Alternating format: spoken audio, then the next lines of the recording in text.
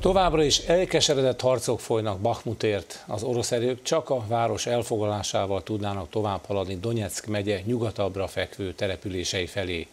Közben Avdiivka városát is egyre több támadás éri.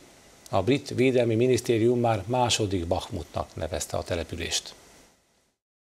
Bakhmutban az ukrán védők a város nyugati részét tartják, miközben az orosz erők északról és délről próbálnak előre nyomulni.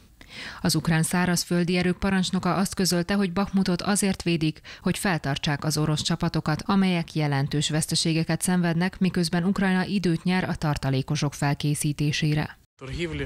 Felvételt tett a náluk zajló csatáról a Bakmuttól 90 kilométerre található Avdijivka település polgármestere, aki elmondta, hogy egyre több támadás éri a várost. Megkezdték a közüzemi dolgozók evakuálását is. Ez pedig Szlovjansk, ahol két ember meghalt és 25-en megsebesültek egy orosz rakétatámadásban. Volodymyr Zelenszky ukrán elnök meglátogatta a zaporizsiai fronton harcoló ukrán katonákat. A Donetszki régióban a szovjet időkből származó helikopterekkel védekeznek az ukrán pilóták. Az oroszok ugyanilyen helikoptereket használnak, de nekik több van, úgyhogy a mennyiséggel nem számolhatunk. Ehelyett a minőségre kellene építenünk.